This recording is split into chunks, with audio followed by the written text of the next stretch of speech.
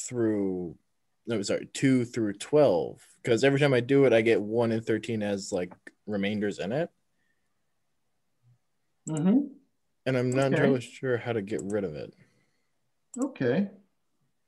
So uh, if you followed my suggestion of uh, making the histogram list variable 13 long instead of 11 long, which is what you technically all you need, if you made it as 13, then uh, you want to simply, when you're printing it out, just start at index number two. okay So for example, you could say uh, for um, I in range uh, two to um, the length of histogram.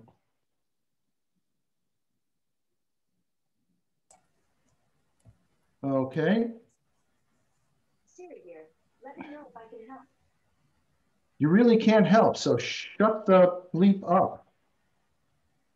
Go away, Siri. Yeah.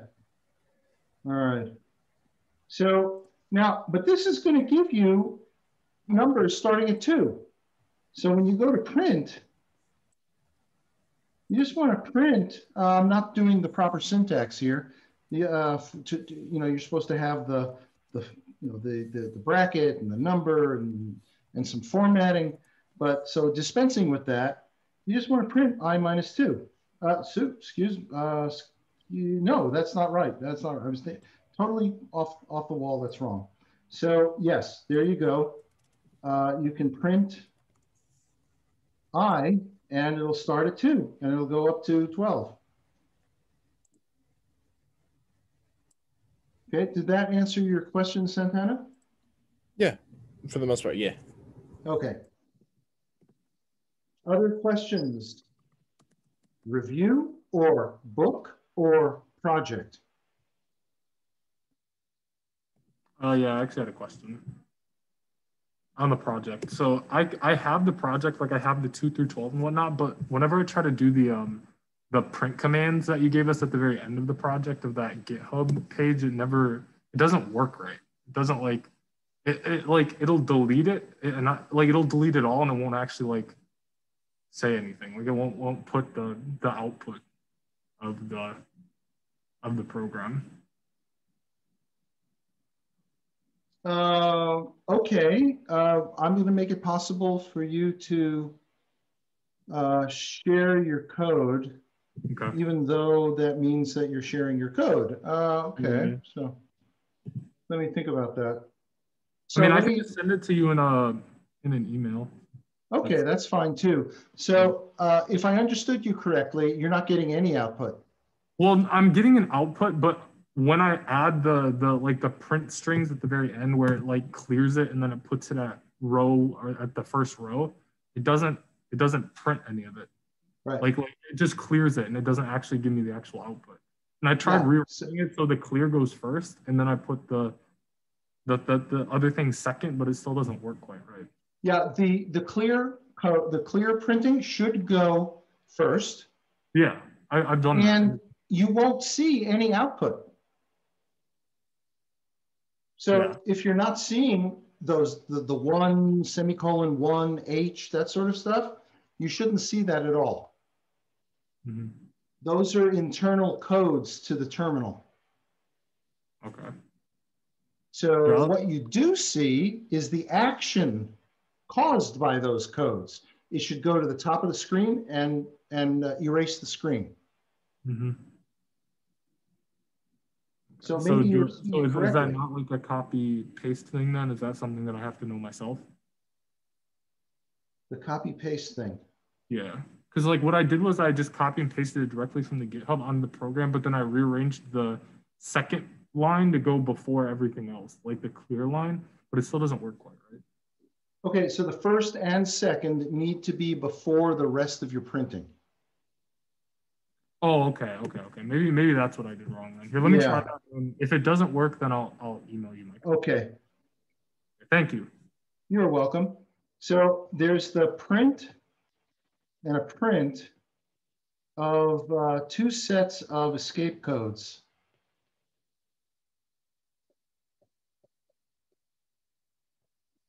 Okay, and when that happens, that's going to move the cursor from wherever it was back up to here. And then you've got the rest of your prints. And that goes, that prints out the values. So the first thing is to move the cursor, erase the screen, then start printing. So that the actual characters of the escape sequence get eaten by the terminal. Yep, that, that did it. I must have put it after the the second or the the print input, so it looks good now. Good, good. I'm glad. Mm-hmm. Other questions?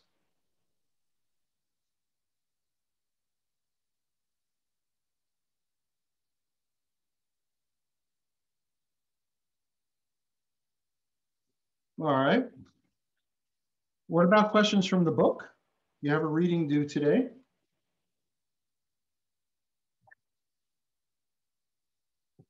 Anybody?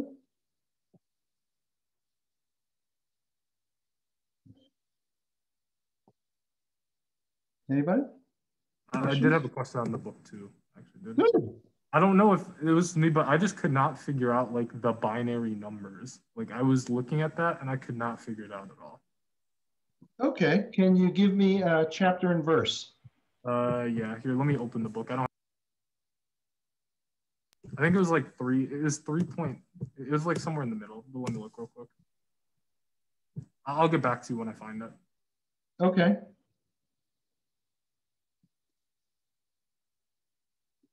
All right, so I will uh, log into the book. And also log into REPL.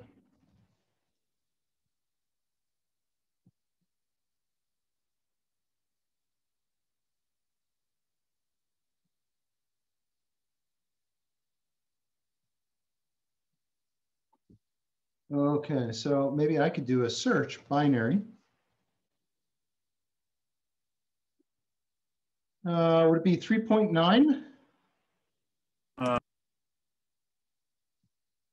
Something in 3.9?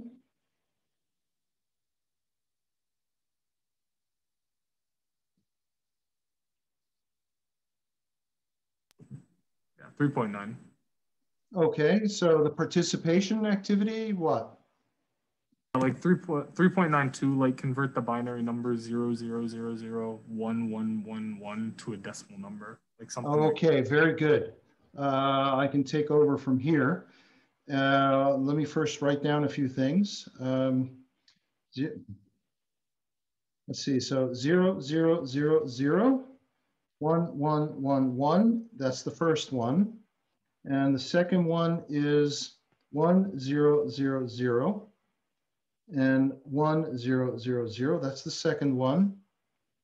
And now let's convert uh, 17 into binary and uh, 51 into binary. Okay, now I can uh, look at uh, my iPad. Now we wait. Okay. All right. So uh, the first one asks you to convert binary to decimal. And the way that you do that is, let me rewrite this here in, in large letters.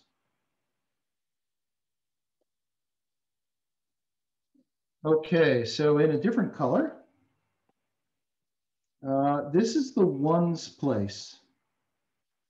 This is twos, fours, eights, 16, 32, 64, 128.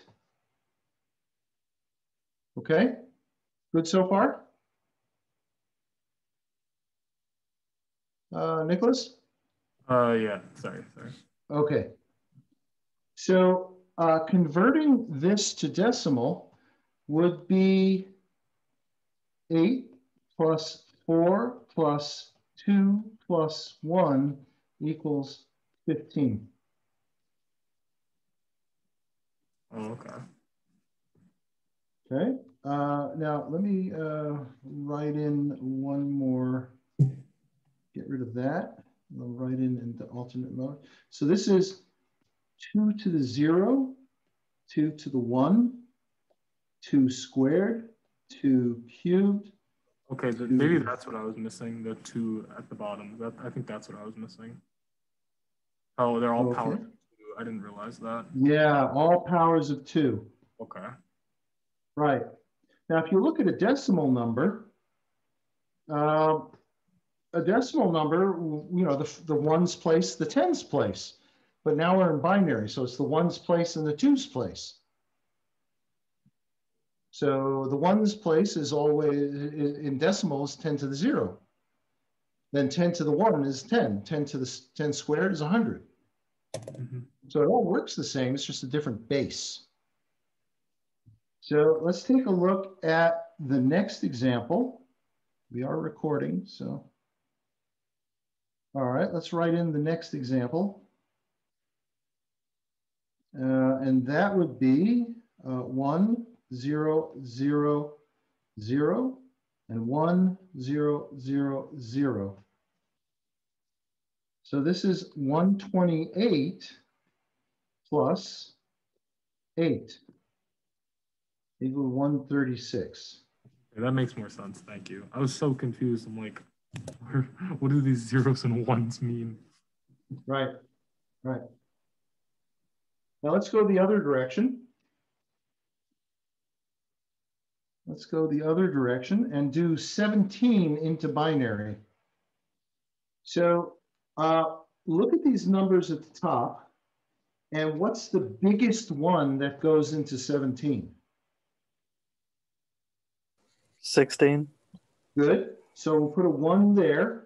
Now what's the remainder? 17 minus 16 is one. So zero here, zero here, zero here, and a one there. Okay, Yeah. and then the mm-hmm. rest of these are zeros. So that's 17. And you can see that 16 plus one is 17. All right, let's try the last one. So looking at these top numbers, what's the biggest one that goes into 51? 32. Okay, now what's 51 minus 32? Uh, it is, what is that, 17? No, 19. Yeah, 19. Okay, so of what's left, the biggest Um, one is a 16. Mhm. Okay, so 19 minus 16 is 3, Mhm. which would mean that and that. Okay, that makes more sense. Thank you. Okay, good.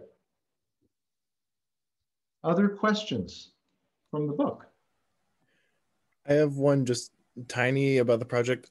What the heck was enumerate? I'm still like lost on that and I couldn't figure out how to use it in the project itself. Uh, okay, so enumerate.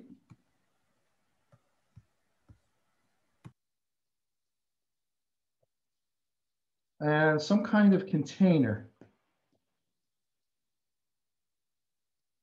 Like a list. Okay, so enumerate returns two things.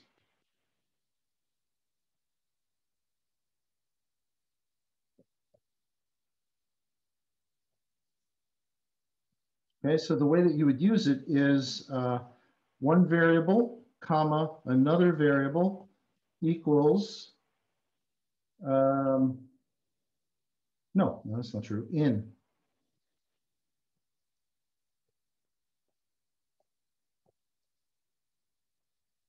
Enumerate and let's say a list. And the two values are, this is the value at position. And this one is the position.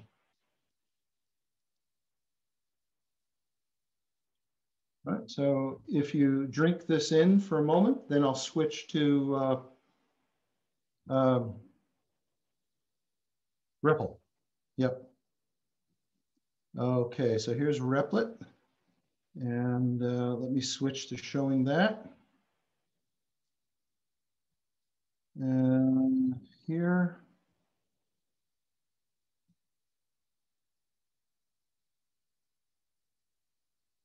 And how about um, in class? Okay, so suppose we have a list. Uh, a list equals um, uh, one, three, five, seven, nine. And now we want to do an enumerate. So for the position, comma, value in enumerate L. Looking good so far? Print, position, value. All right, let's try that.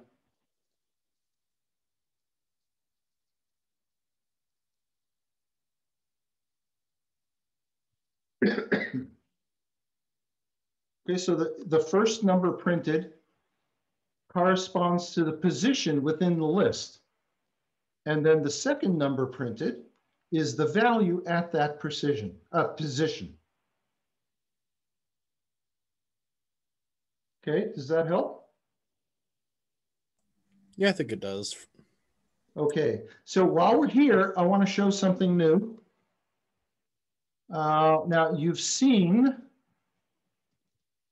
print with, um, let's say, position and value, and then end equals and something. You've seen that, right? Everybody remember that? Here, let me put that in. So uh, end equals end. So let's see what that does. So at the end of every string, you have END. So this is known as a named argument because you give it its, you, you specify its name and its value. I'd like to show you a, another one that print supports, and that would be sep equals, and watch what you get here. So now we got zero comma. So in general, there would be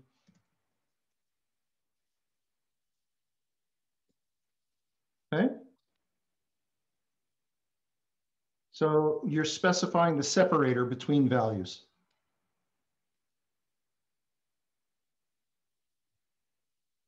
Okay, more questions?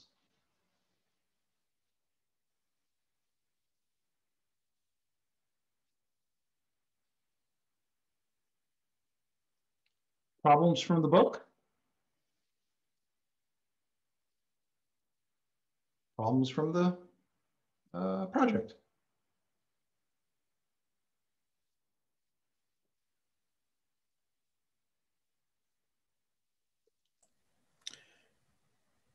Go ahead. I'm still having a bit of trouble with the changing the values of the index to 2 and 12 because when I'm checking it, every time I look at the outputs for 2, it's at 0%. Oh, okay. So here, let's let's try something. Uh, back to REPL. Uh, let's say the list is equal to uh, 13 copies of zero, right? And uh, let's say L2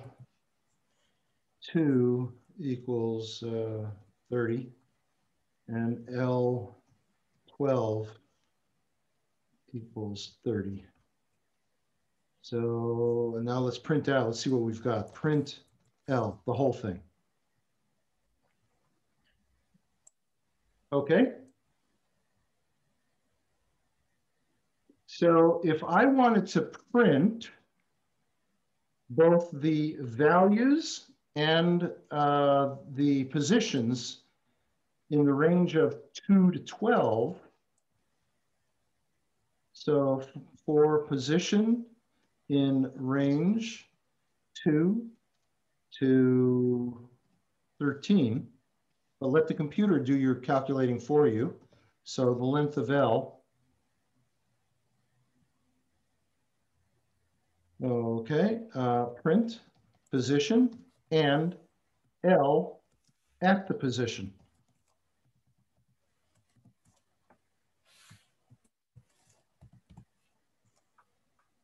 Okay. So does this help, Santana? I yeah, I think it's helping for sure.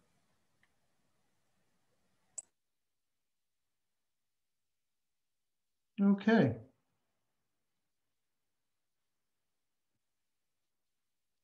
Other questions?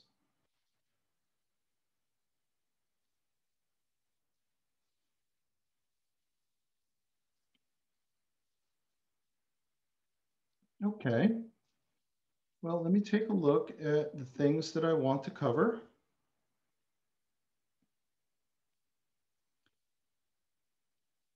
And why is this so slow? Unbelievable. Okay, so uh, I wanted to talk about this, and we have. We've done review, book questions, and project questions. So I'd like to skip to the next project. Okay. So you'll find that, uh, yeah, go to LMS. We are projecting the wrong thing, but I caught it. I get credit for finding it. We're discovering that all by myself.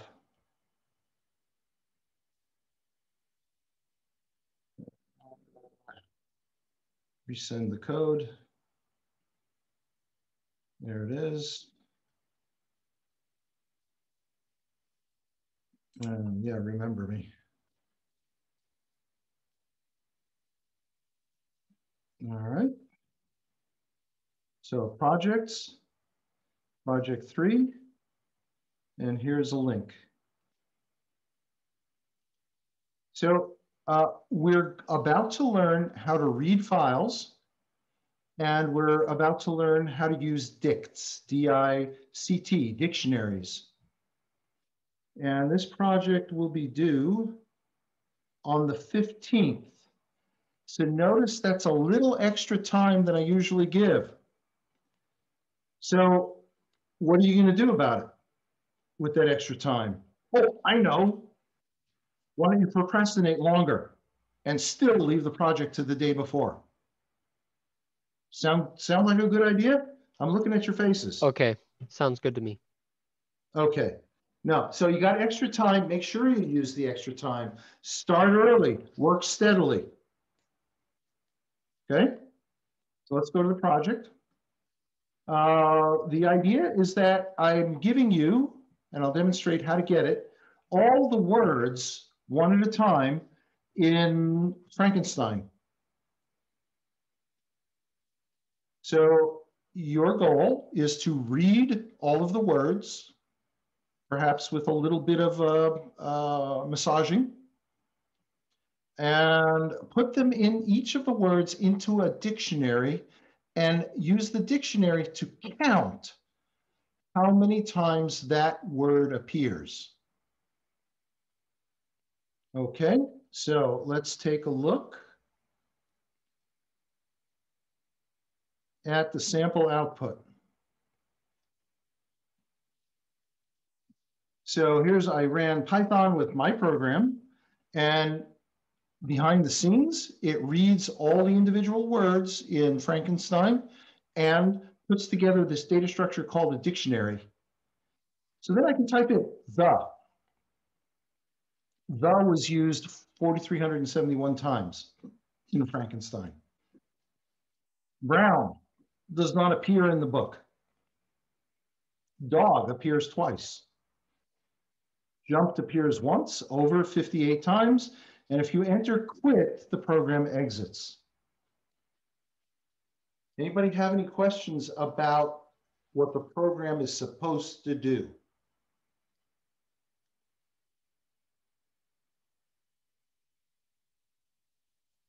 Okay, so let me demonstrate, and we are recording, good. Let me demonstrate how to get the data file. Let me skip to Replit and delete this. You don't need that right now. Okay, so starting from the spec, click here, click on that link, and it will download all the words in Frankenstein to your computer. Then go to Replit using the vertical three dots, upload, and find the um,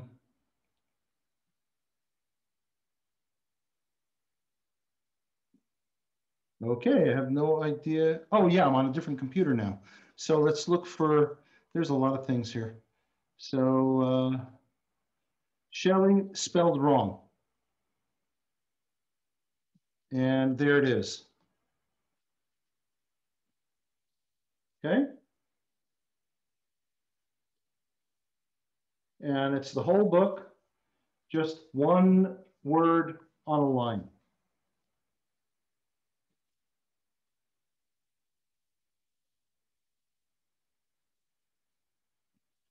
All right, so any questions about how to get the data file? Download it to your computer, upload it to Replit. Okay. So there's, that's how you get the words. Uh, the program, this is the outline of the program. You can think of the program as running in two steps. One is to gather, open the file, gather all the words, build the dictionary, then that step is done. You close the file. And then a second phase, process the user input. So you prompt the user uh, to enter a word, you get the word. If it's quit, you exit the program. If it's not quit, you look to see how many times that word shows up in the dictionary. But I keep using this word, dictionary, dictionary, dictionary. Uh, let's start looking at what a dictionary is. Okay, so a dictionary is a little different than a list. Because in order to find something in a list, you have to know its position. So you go here.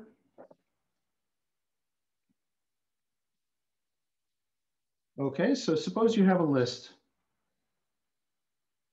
L equals, L equals the um, A true uh, B capital letters.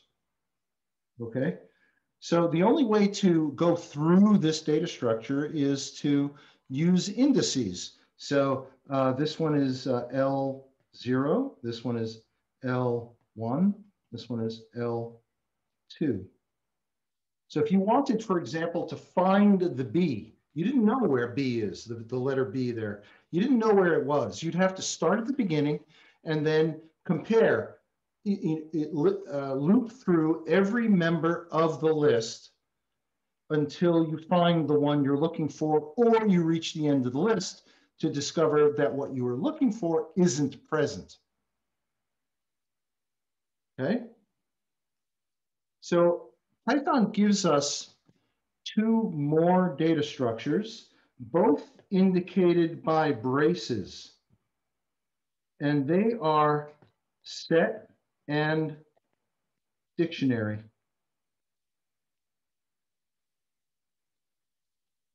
So let's look at set first. So set uh, has uh, the presence of a key or its absence. So something is either in the set or it's not in the set. Now, dictionary is, does that, but it also does more. So it has presence of a particular member, uh, a particular key, and I'll explain that in a second, uh, and a value. So it is a mapping of keys to values, whereas a set only has keys.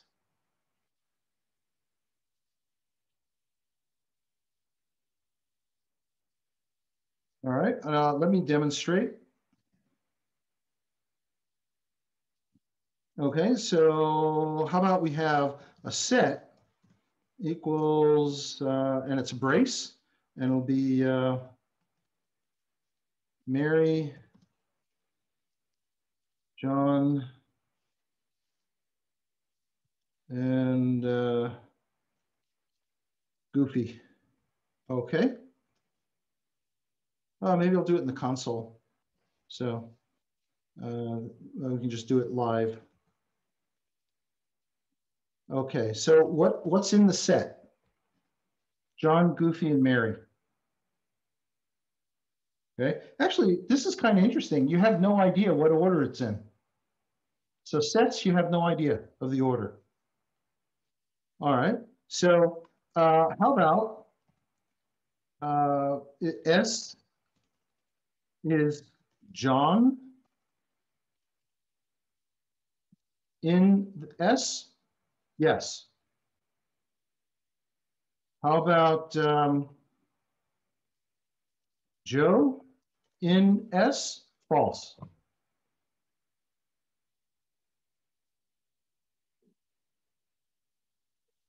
Okay, now let's take a look at a dictionary. And Mary, I'll do it in the same order. Colon, uh, favorite ice cream, comma, John, uh, colon, and uh, strawberry. And finally, Goofy. Well, Goofy can only have one favorite. That's got to be Tutti Frutti. And you got to spell it right.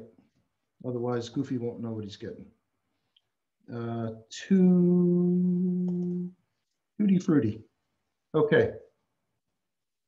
So what's in the dictionary?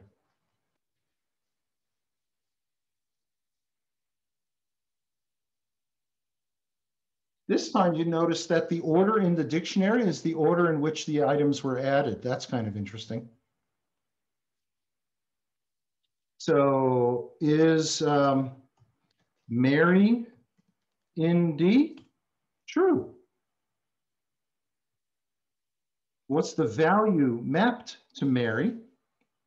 Uh, and that would be D. What's the key? Mary. Vanilla.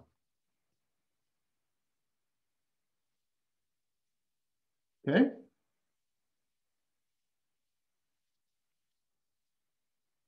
Now, how about this? Um, how would you add a new value to the map?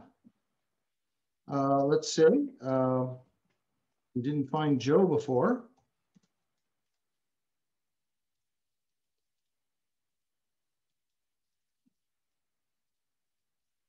And now Joe is in the, oh, look at that. I spelled strawberry wrong the same way twice. Go figure. Okay, so sets can store only whether or not a particular key is in the set. But a dictionary stores keys, and for every key, there is a value. Okay? Uh, just to prove a point, let's add one more to the dictionary. Um, uh, Marcia uh, might like more than one flavor of ice cream. So there's nothing, so why not put in a list? So how about vanilla and chocolate. So what is what is uh, Marcia like? Marcia. So the, the point I'm trying to make is that when I say a value, it could be anything else that Python can store. So it's not just a string like vanilla.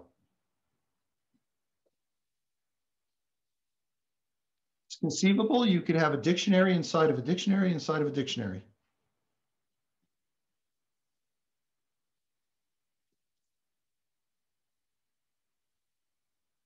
So in this program, this project, you need to uh, determine, you need to count how many times each word uh, appears. So let's say the word was fish.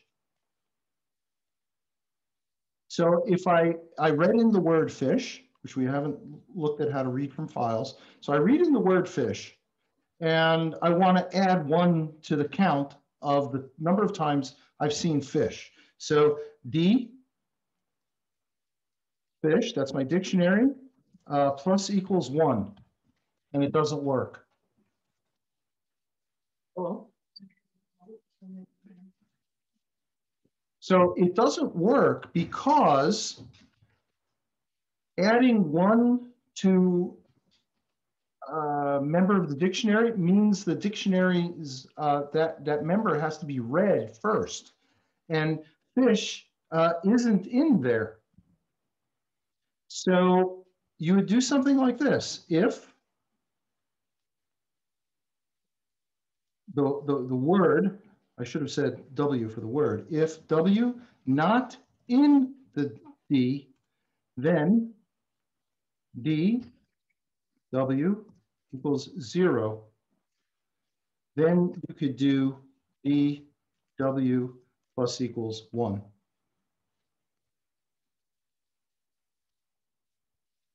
Okay? So from here down, I've demonstrated that before you can increment the number of times you've seen a word, the word has to be in the dictionary already.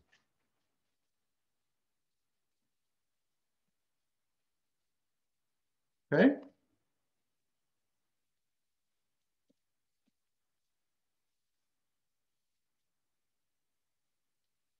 Okay, so any questions about uh, dictionary?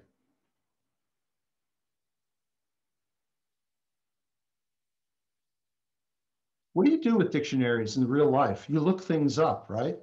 Well, here's a lookup. That's the way you can think of this. This is a lookup. Uh, you're looking up the value of fish and value of one. So dictionaries are lookups.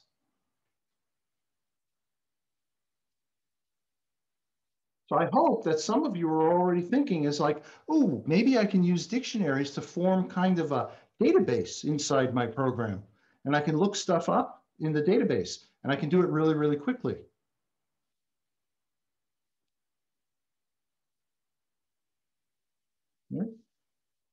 Now I mentioned quickly, let me type over here.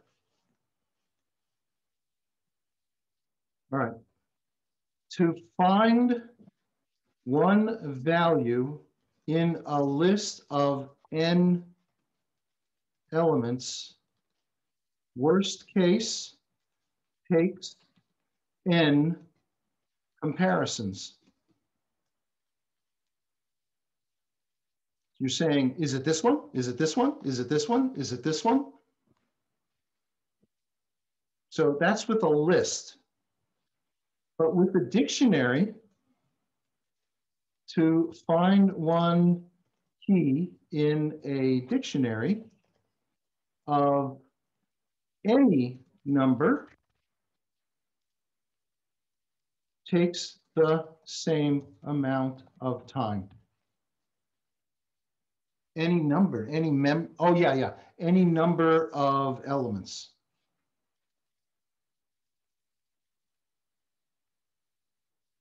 Okay, so there's a big, big difference between list and dictionary. If you need to do lookups, you don't want to use a list unless you're talking about a really, really small set of data.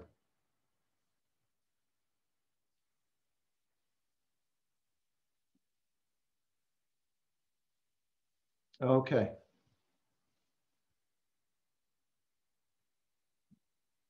All right.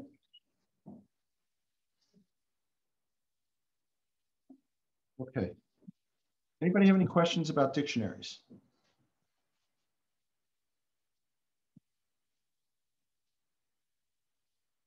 Okay. So let's take a look at using files.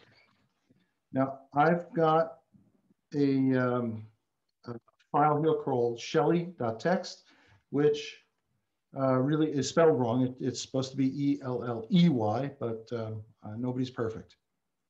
So I can say, uh, working with files is you have to open them, you have to close them when you're done using them, and you can read from them, and you can write to them. Uh, you can even move around in them.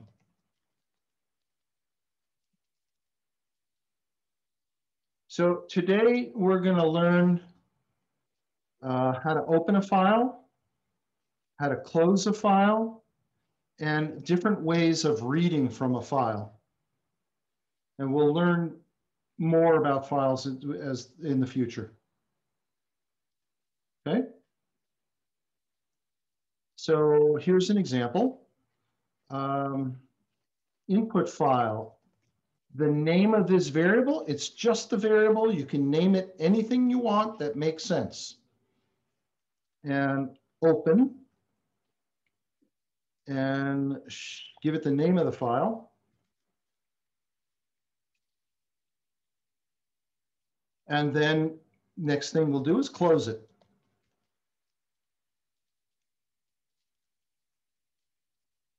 Okay, so this program doesn't do much. It opens the file and closes it immediately. Let's see if it works.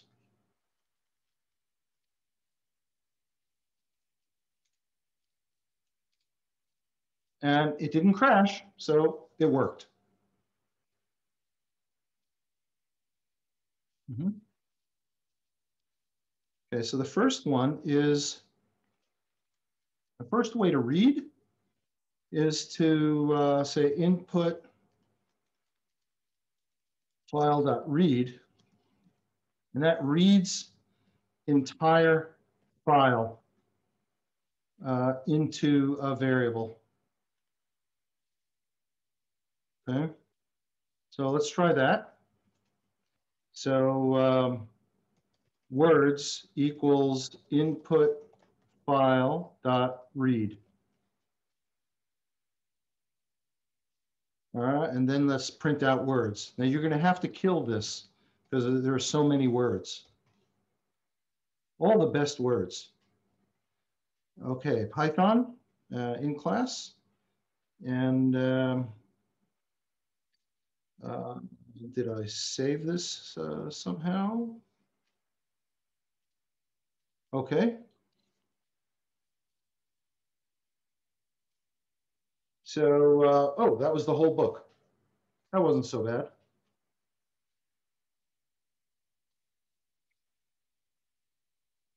All right, so dot read reads the whole file and puts everything it finds into words, uh, into a variable. Now let's look at something else. A different way. Let's do this. Input file dot read line reads next line into a variable.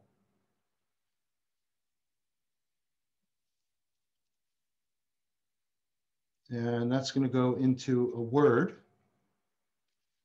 Okay. So just one word. And there's an icky extra line there. We'll talk about that in a minute.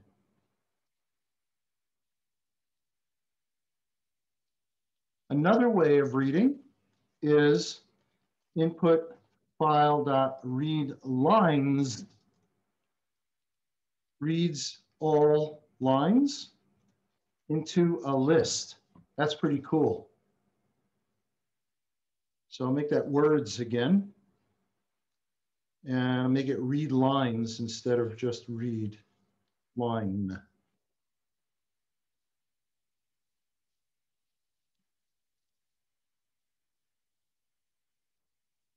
Okay, so that's uh, now all of the words, all of the lines in the book, which happen to be one word per line, all of the lines in the book are now in a list called words.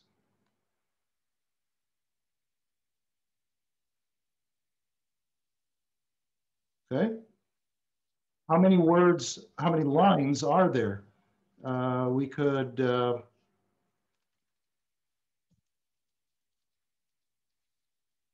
okay, run that again. There's 78,530 lines in the file. But notice here, every one of these ends in backslash n, new line. And that's why you were getting an extra line out a moment ago. So let me do this, the read line. And let's look at that extra line. So Word gets input file read line. And I want to print the word, not it's not the number of letters in it. Okay. Okay, see that extra line there? That's this character. At the end of every line is the new line character.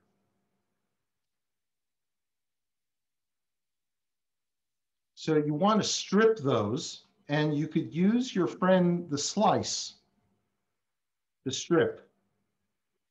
So let's slice. So word equals word, and I want you to start at the beginning. And so an empty, empty value before the colon means start at the beginning, and then stop when you get to the length of the word. Let's see what that does. Nope, didn't get there quite enough. Didn't didn't uh, just cut off anything. Word minus one, the length of the word minus one. Good, that works. But this is kind of verbose. Do you remember what a slice with negative one would do? Let's try that. See, there you go.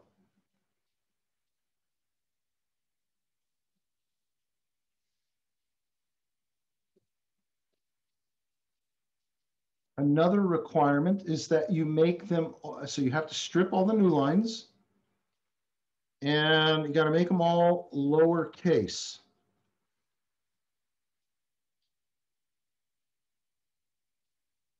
Okay. So let's factor that in the lowercase and say uh, dot lower.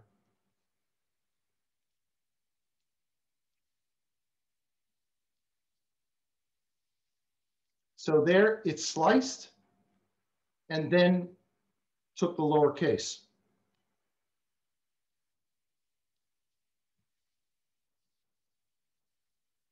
Okay, any questions?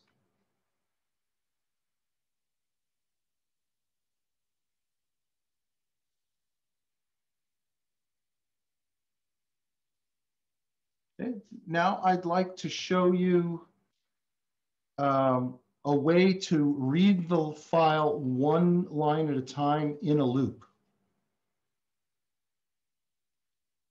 And that would be for uh, a word in the input file. And I really should call these lines because they are lines uh, for every line in the input file. Print the line. Let's try that. Oh, I took out that stripping stuff. And this will stop when there are no more, no more lines in the file.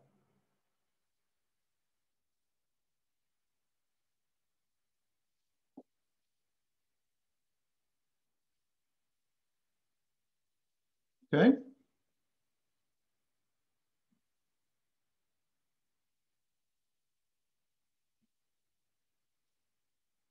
So does anybody have any questions?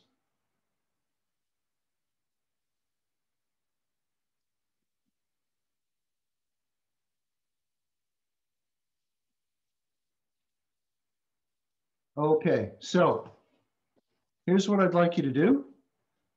Uh, using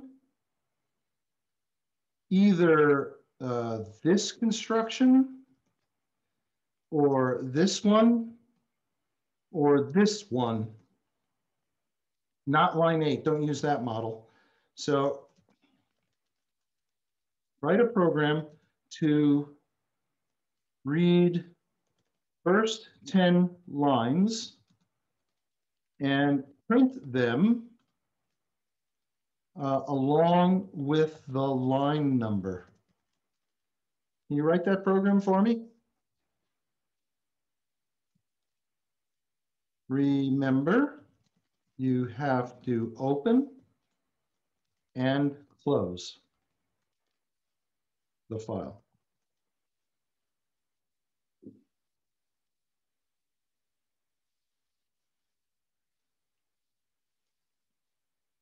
So you can base your code off of uh, line 9, 10, or 11, 12.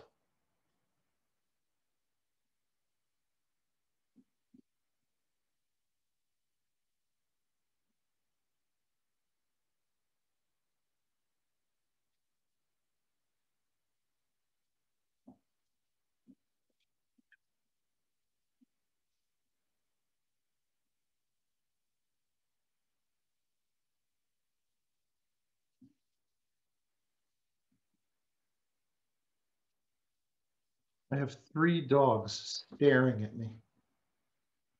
Why don't you go haunt a house? Go ahead, go away. They're just staring at me. Which by definition, they're making puppy eyes at me. Okay, how are you doing on that program?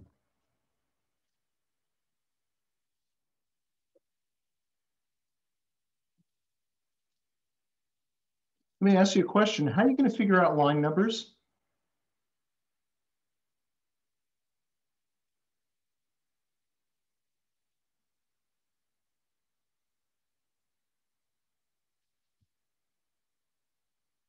Okay, so uh, how, let's do it using line, the construction on line nine first.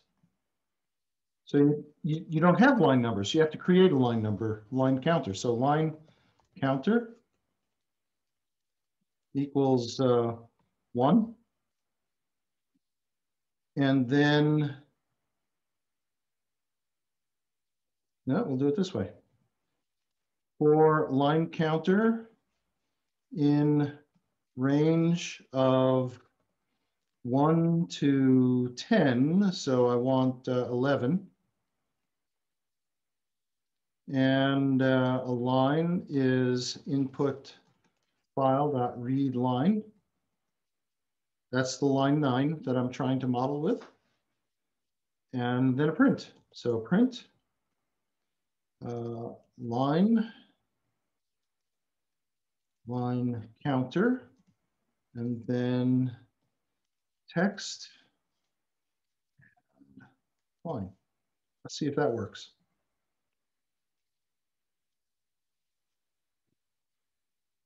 Okay, that's pretty good. Except now let's do that slice thing and the lower. So we can slice and do make it lowercase.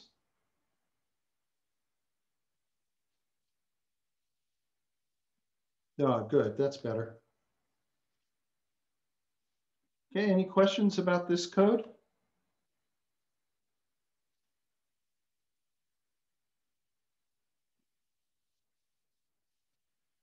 So the way to read this is read a line from input file, removing the first, uh, excuse me, removing the last character and make the whole input into lowercase.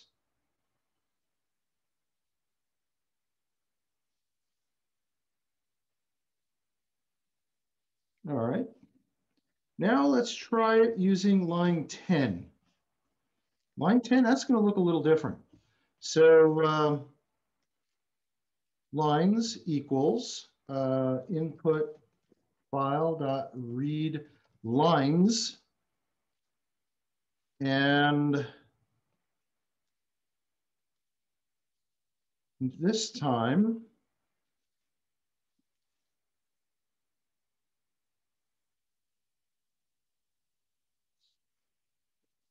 Uh, let's see, we want the first 10 lines.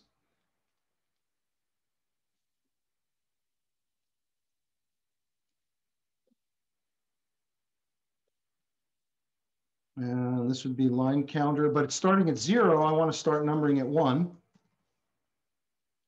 And then it would be lines. Uh, line plural, uh, line counter. And one more thing. We can put the slice and the split here uh, in the lowercase here.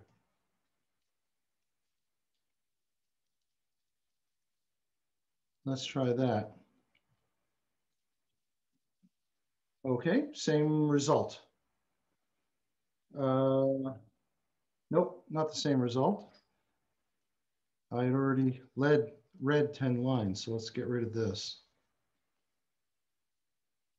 Okay. So here, line 21 read the entire file in a blink of an eye and put each line into a list, another member of a list. And then I'm just printing out the first 10 members of the list. Any questions about this construction?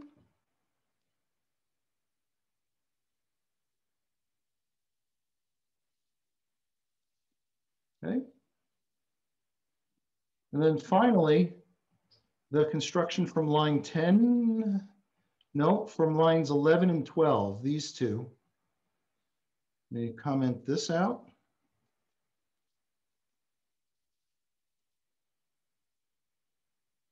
Okay, um, so here,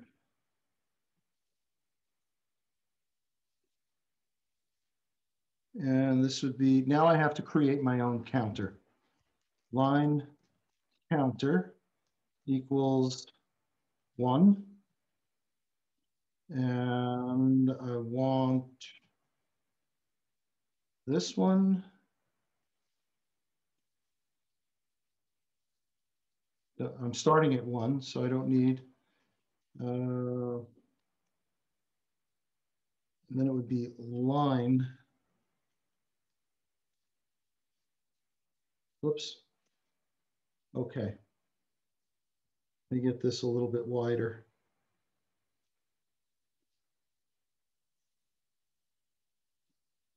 Okay, so this is three ways of reading from the file, except I made a mistake, didn't I? So control C. What's the mistake I made?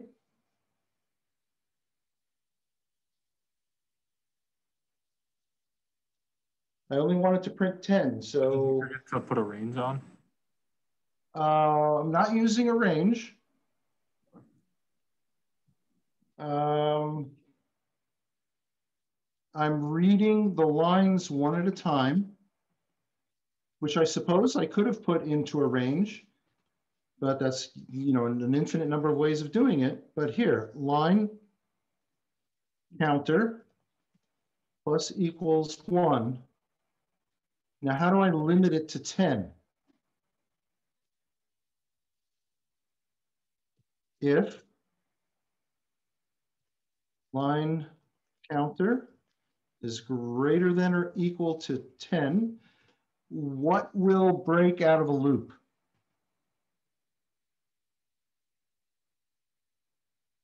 What statement will break out of a loop? It's a white horse question. Right. Yep. All right, let's try that.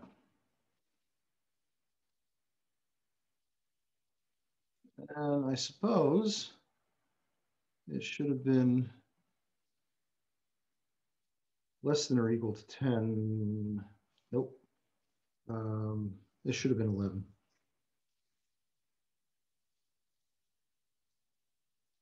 There. Okay, so there's three different ways of reading from a file.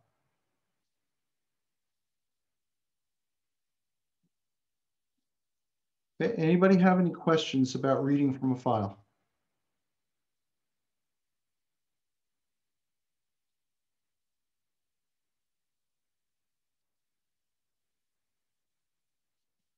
Okay.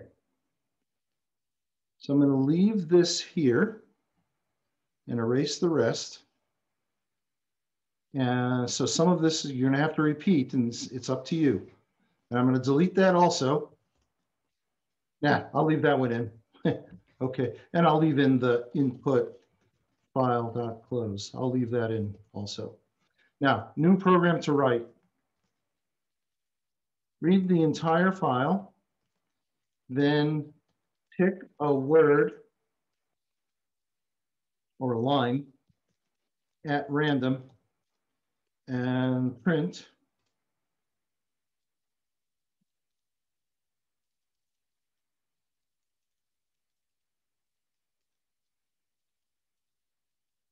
And then, um, okay, can you write that program? It picks a line at random, which we happen to know is a single word per uh, line.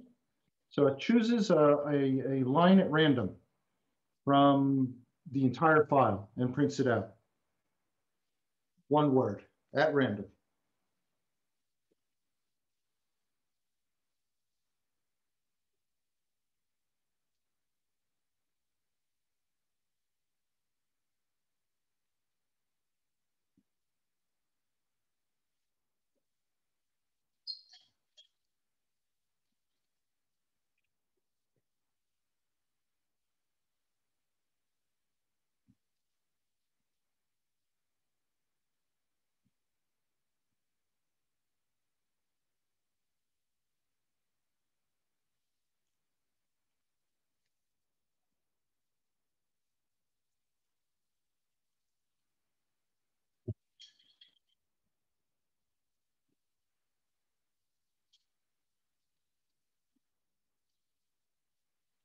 Okay. Can anybody tell me how to do it?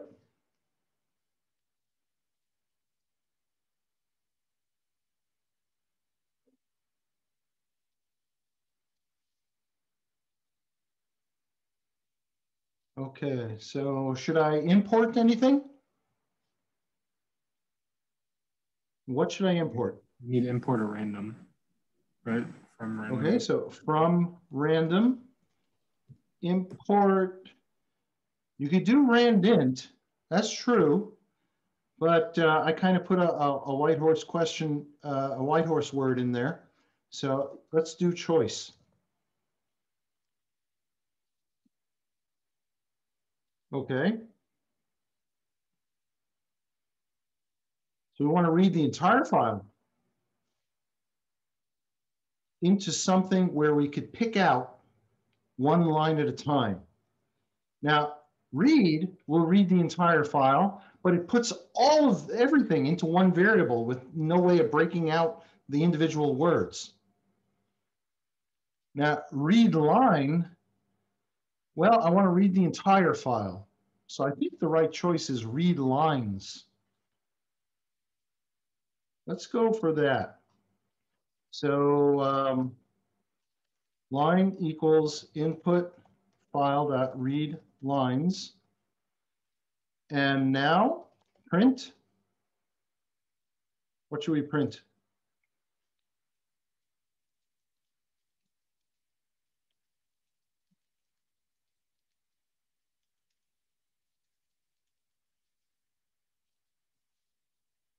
Yeah. Let's see. A choice word from Frankenstein, and that would be choice.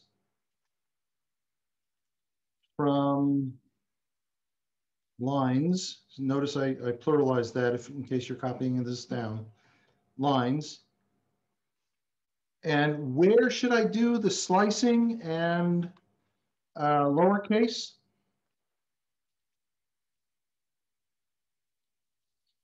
After the choice. So here you slice. And then smash it to lower case.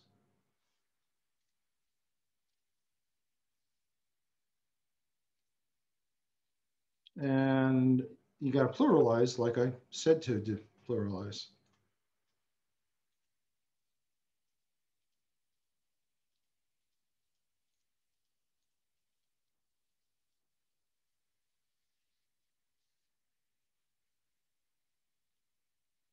Okay. Does anybody have any questions about this? Does it all make sense? What were the brackets for the colon minus one for again? That's the slice.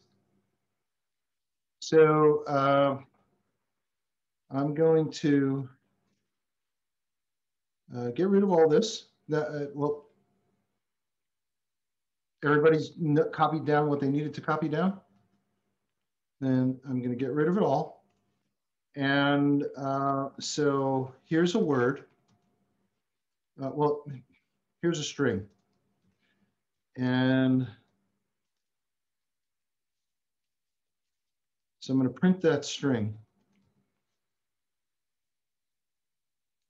And notice there's two lines printed at the bottom. You see that, the blank line?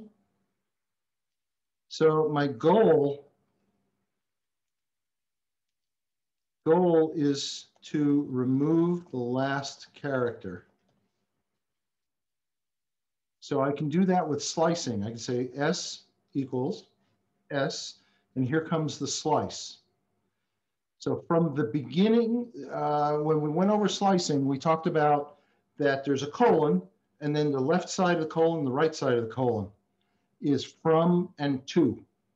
So if this is empty on the left side of the colon, that means starting at zero. And then you're going to end uh, before you get to the last character.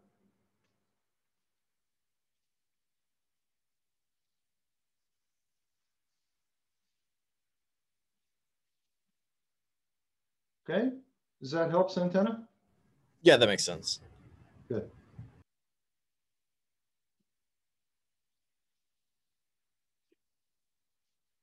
No, I think I can get my, if I undo enough, I should, should, uh, if I'm lucky, I'll get back all that other stuff. Okay.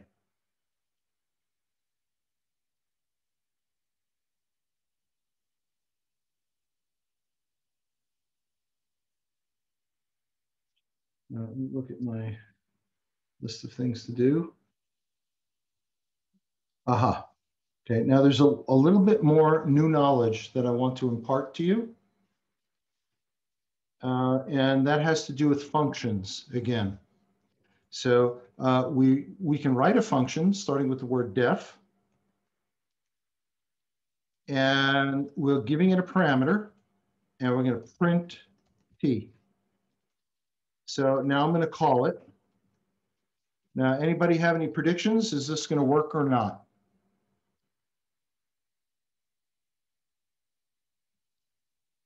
No. Okay, no, it won't work. Because notice what it says here, a required positional argument is missing and it was named, it should be named P. So if I put in, uh, put in an R, a value for the argument, no problem. Take it away and it's an error because this is a positional argument. But I can give a positional argument a default value. Right there. So the default value of P is 99. Let's run the program. And check that out. Where did the value, there's the, the, the, the P is missing. The value for P is missing. But if you look at the definition of the function, you've given it a default value to use when the argument is missing.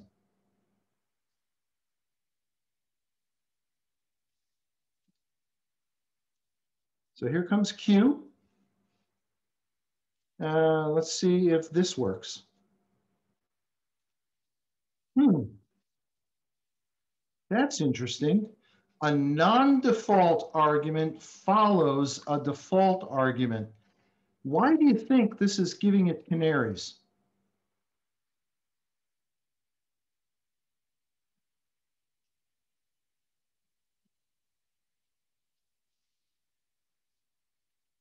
So if you give default values, they have to be at the end of your argument list. So if I change the order of these, put the Q first, the Q is the one that's a required positional. And it's missing. So let me give it a default value.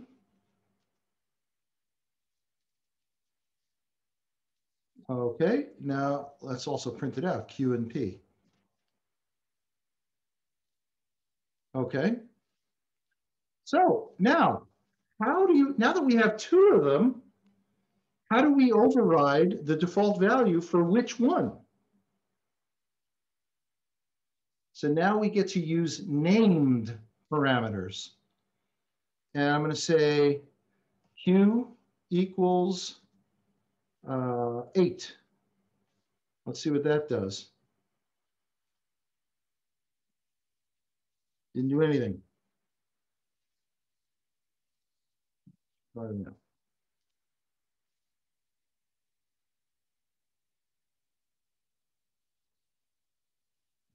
All right, I'm confused.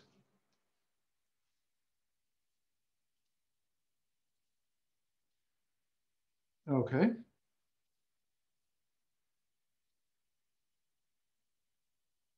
I don't know why it was giving me the 66. But here I've named, given the values to, directly to the names of the parameters. And you'll note that I should be able to do it in any order now that I'm being explicit about what value goes where. See, even though it's now 9 comma 8, it's still printed as 8 comma 9.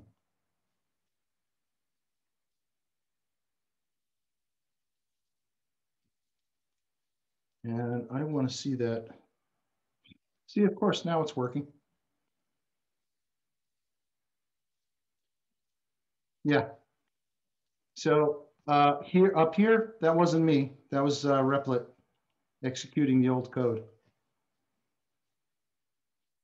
So foo with q equals nine, it printed the q is nine, and it took the default value for p. So those are named parameters. Now you've actually used a named parameter before. Here it is. And oh, you've used another one now.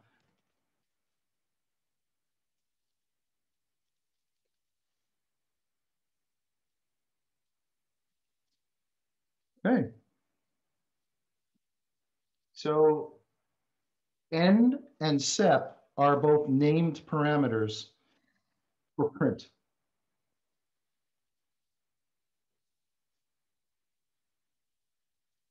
Now, does it mean you could you could name anything you want? That's not right. That's spelled wrong.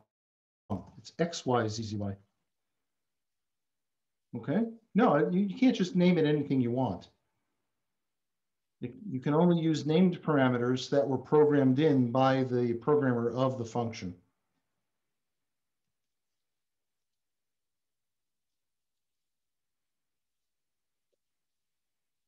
Okay.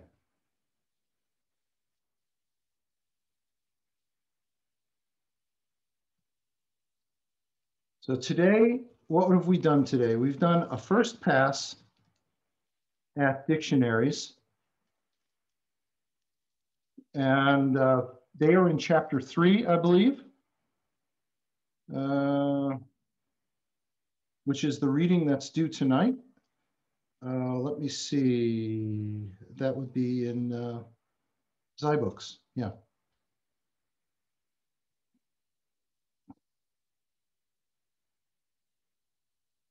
And so here's dictionaries, 3.4. And we have also taken a first pass at reading files. Uh, we also looked at default values for parameters and using named parameters.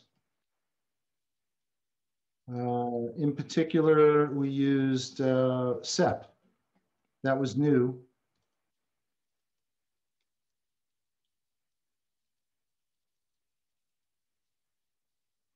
Okay, what else did we do? Oh, I'm sure we did some other things. Oh, yeah, we did binary.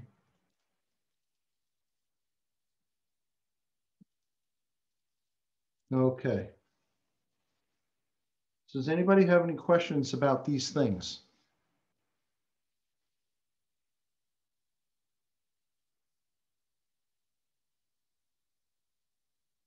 Okay. Oh, also, we saw how to upload a data file, which we'll do more and more. So it's really critical. After this part where we learn dictionaries, uh, sets, we didn't really talk about sets, it's in the reading. Uh, after we've done dictionaries and we're able to read files, then the amount of different tools we can write skyrockets. So it's after this point, things start getting int really interesting. Okay.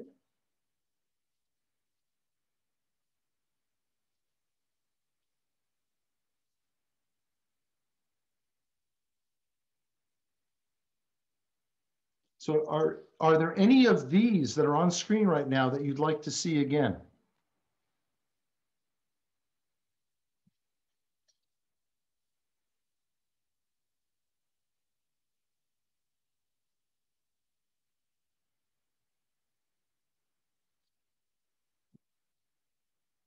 Well, all right then. If nobody has questions, that's all the material for today. Is